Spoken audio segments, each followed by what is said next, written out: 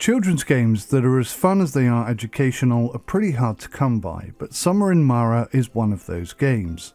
Summer in Mara has magnificently managed to include grown up responsibilities, bartering, and exploration safely within a unique and danger free gameplay experience.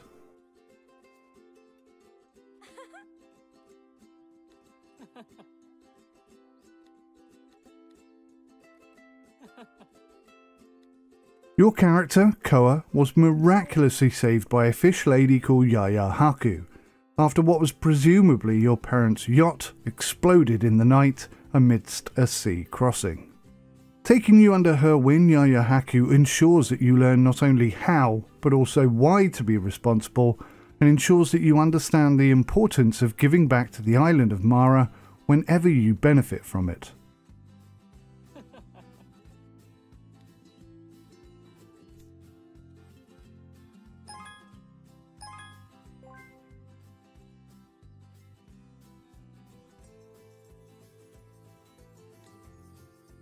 Misfortune sadly seems to follow you throughout your life as your guardian fails to return from a shopping trip to the main island and you find yourself left alone on the island.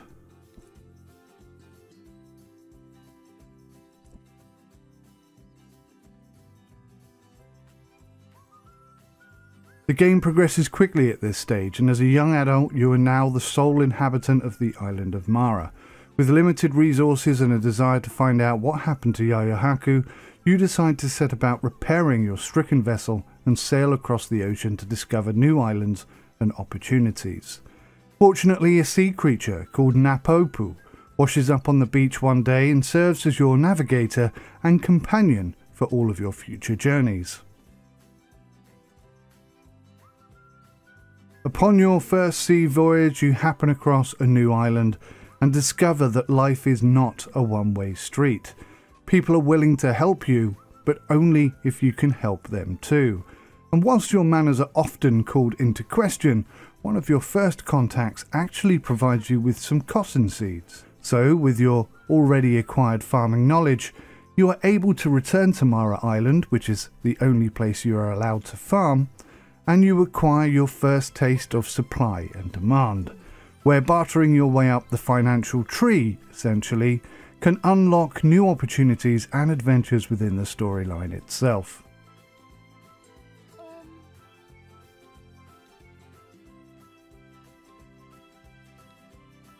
Players' time is split evenly between farming, building, and exploration, which are the fundamental driving forces in Summer in Mara.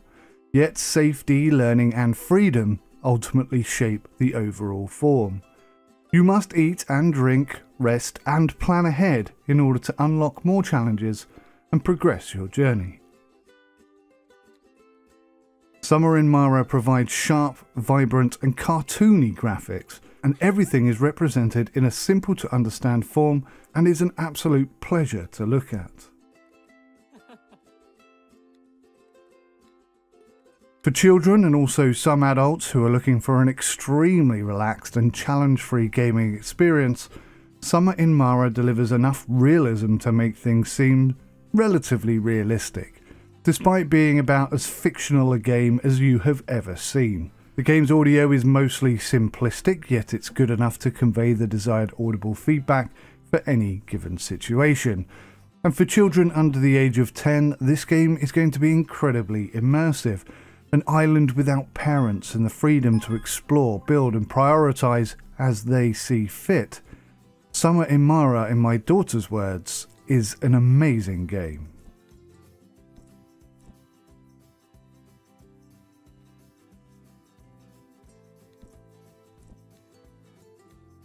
The controls appear to be semi immediately intuitive, although I did have to interject a couple of times in order to help steer my daughter in the right direction.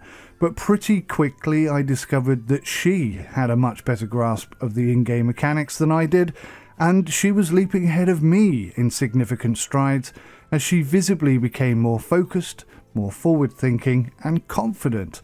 And watching that happen right before my very eyes was a visual delight in itself. Although physical changes to character and environment don't really exist in Summer in Mara, it does do a great job of creating the illusion of freedom to do what you want, when you want, and how you want. For example, although you must plant a seed tree after chopping down a tree, where you place it and exactly when is up to you. Summer in Mara only has a single player campaign experience and it is quite linear in the sense that certain objectives must be achieved before you can progress to the next stage of the game. This is a perfect game for children to explore whilst learning about step by step processing and responsibility. My intention for this review was always to let my 8 year old daughter play it and then convey her perceptions of the game's strengths and weaknesses into a review and although she hasn't necessarily progressed as far into the game as I would have initially liked, she has made me realise that completing objectives and progressing through the game towards its finale are not actually at the forefront of an 8 year old's gaming checklist. Indeed, it is making games within games like rock climbing, orange juice manufacturing, making friends with the wildlife, and just driving a boat, rather than the exploration itself are the fun things to do. And whilst progress is slow, her enjoyment is evident for all to see, and her enjoyment is counterbalanced with the knowledge that she is also learning about money, mathematics, responsibility, and planning. For children, I can easily see what the draw is in Summer in Mara, and by watching my daughter play, I realise that my own desires and expectations for a game are considerably different to hers. An adult playing Summer in Mara might become frustrated with the constant toing and froing required in order to produce the necessary items, which will ultimately unlock a conversation. That will then ultimately unlock the next stage of the storyline, because as an adult, you might become fixated on progress and reaching the finale, whereas a child is thoroughly enjoying the freedom of sailing across the ocean and exploring each journey in intricate detail. Let me explain it this way. I've never seen an adult do figure of eight loops whilst crossing an ocean to sell an item at another island. And equally, I've never seen an eight year old who doesn't do that. What a great little game this is.